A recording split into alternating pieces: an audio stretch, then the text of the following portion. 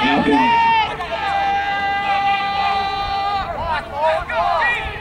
And the Celtics will take a timeout.